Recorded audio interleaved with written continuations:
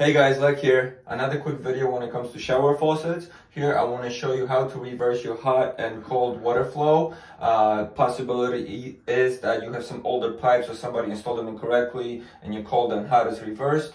Or the most likely fix is the cartridge that's inside your faucet is installed incorrectly.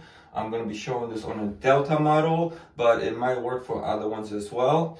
Uh, typically, your hot water is on the left, your cold water is on the right. This is the standard way how faucets should be installed and how the water flow is in sinks, bathtubs, and so on. So, uh, as you guys can see, even it's marked here red. So normally when we go left, it should be hot.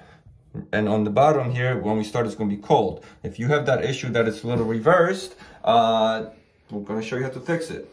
First, what you have to do is uh, turn off the water flow to your house. Uh, meaning go to the basement, find your water meter and turn off that knob, uh, which I'll show you right now, uh, so you make sure no water's coming in. So you want to find where your main water valve is, which is going to be next to meter like down there. So I'm actually going to cut it off right here. So that cuts off water to my water heater and to the rest of the house. Now next, I'm gonna go to the lowest sink in your house and just drain out any excess water, hot and cold and so on. So now we drain the water from all the lines and now we can get back to the valve.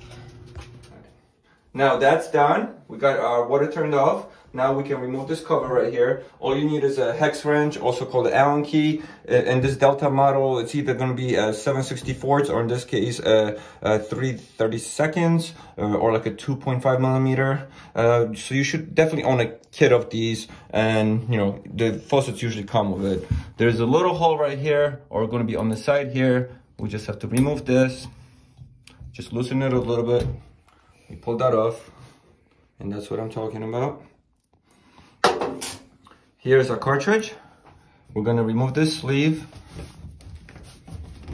which just pulls right off. Sits on a little rubber gasket usually.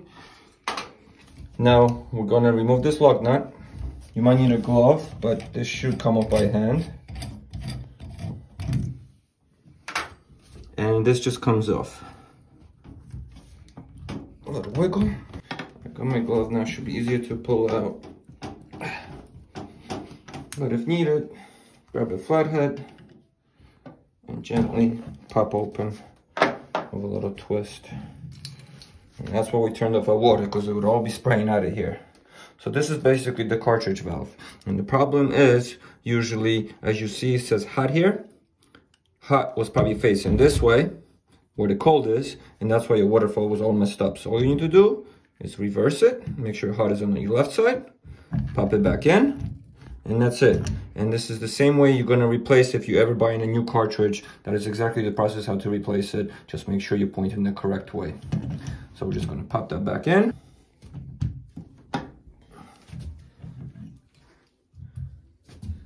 There is little holes in there, make sure, make sure you guys line it up, otherwise it won't go in. That's what these little arrows are for. So you might have to give it a pretty strong push. But then this will tighten it up fully anyway for you. So we'll get our nut back on.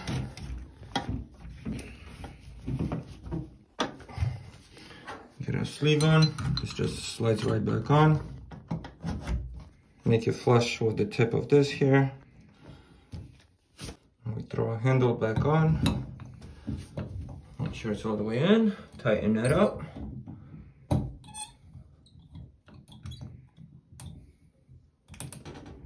Go. This is flush. And that's it. That should fix your issue. Uh, go back downstairs, turn on your water, make sure nothing's leaking, everything's good, and you should be all set. If you guys have issues with um, the water just not being hot enough, I did make a quick video, I'll put a link below, or just check out my channel, how to do a little adjuster in your valves in all different showers uh, to get that optimal hot water you want. So it's not scalding or not too cold and so on. As well as how to adjust your water heater and stuff like that. Guys, I hope this was helpful. Thank you for watching. Please subscribe, give me a thumbs up. Comments, questions, please do so, and I'll get back to you as soon as possible. And yeah, thanks.